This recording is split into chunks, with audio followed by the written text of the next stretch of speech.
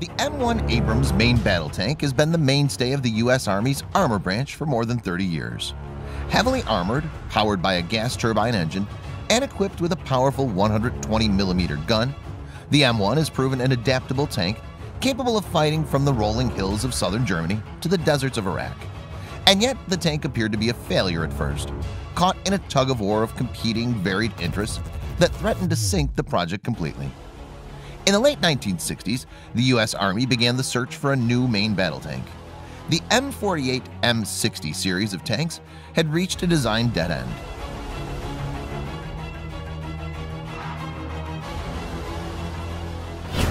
And the Army desired a clean sheet design to incorporate new technologies, including a gun-fired anti-tank missile. The Pentagon initially tried to cooperate with West Germany on a new tank, MBT-70, but the project was sunk by technical problems and cost overruns. In the wake of MBT-70, the Army tried again to develop a new tank, a design that was eventually known as XM-1 and later the M1. The new tank would incorporate major advances in firepower, protection, and mobility. But committing to an ultimate design would involve heated battles and compromises between all three. The heart of any tank's offensive firepower is the main gun. The Army had previously wanted to arm MBT-70 with a 152mm tank gun capable of firing both shells and Shillelagh gun-launched anti-tank missiles. Unfortunately, reliability problems doomed the Shillelagh and the Army went back to conventional tank guns. The Soviet Union's primary tank was the T-62, armed with the U-5TS 115mm gun while the U.S. Army's M60 tank was armed with the M68 105mm gun. Although the Soviet gun was technically bigger, this did not particularly bother the U.S. Army, which preferred to stick with the 105mm for the XM1. The Army's argument was that the 105's armor-penetrating qualities were still good enough and that the tank could store plenty of ammunition, 55 rounds of all types, inside the hull and turret. In a list of performance characteristics listed by the Army by priority, main gun killing power actually came third, behind armor protection and surveillance and target acquisition.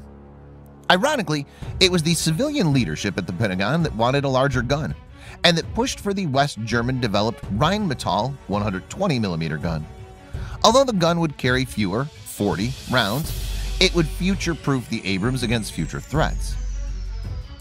The Pentagon was worried that newer Soviet tanks, including the 125mm armed T-64, would outclass the XM-1 even as it entered production. In the end, both sides came to a compromise. Earlier production M1 models would come with the 105mm gun, but would be upgradable to the Rheinmetall 120mm. The next version of the tank, M1A1, would be built at the factory with the bigger gun. The M1A1 began production in the mid-1980s, and by 1991 was widespread enough that the Army was able to field an all-M1A1 tank force to face off against the Iraqi Army's Lion of Babylon variant of the Soviet T-72 main battle tank in Operation Desert Storm.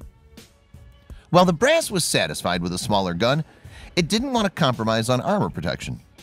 Army officials had heard of a new British breakthrough in armor technology nicknamed Burlington later named Chobham, after the closest village to the UK's Royal Armament Research and Development Establishment. RARD had undertaken major research to defeat shaped charge warheads, common handheld RPG-7 rocket-propelled grenade launcher, and Soviet anti-tank guided missiles. It had experimented with a variety of steels and ceramics. It even experimented with polypropylene plastic, which was found to have, pound for pound, greater protective power than steel. Unfortunately, a pound of polypropylene was much larger by volume than a pound of steel, and the corresponding bulk made it impractical.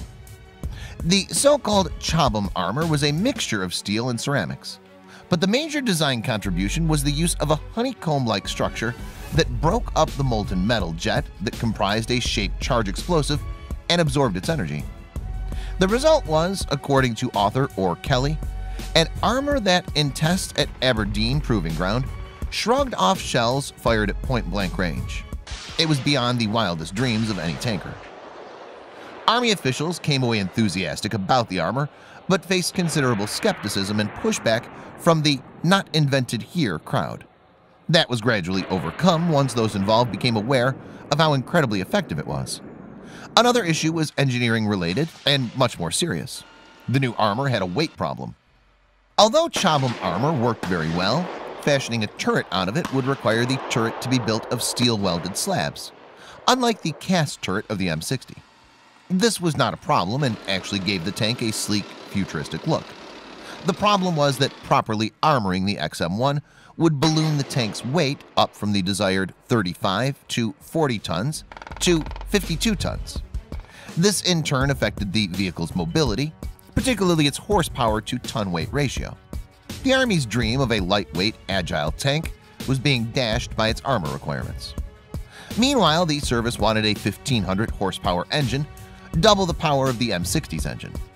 It tried two diesel engines, the Daimler-Benz diesel that powered the Leopard 2 and the homegrown diesel built by Teledyne Continental. But the third engine, a gas turbine added from aircraft use, unexpectedly gained favor. The gas turbine allowed for quicker startups, faster acceleration, ran without producing smoke, and most importantly, was smaller and 3 tons lighter than its competitors, saving valuable weight. Although the gas turbine would require the Army to stock vast quantities of gasoline, in addition to diesel fuel, on the battlefield, the advantages of the turbine eventually won out. The development of the M1 Abrams is a classic study into how competing requirements can collide with one another. The trifecta of tank power, firepower, protection, and mobility all required some level of compromise. The Army was willing to bend some requirements, particularly with regards to weight, to get a good tank, instead of being unbending in a vain search for the perfect tank. The result is the most battle-tested main battle tank today, a tank that, with periodic upgrades, has stood the test of time.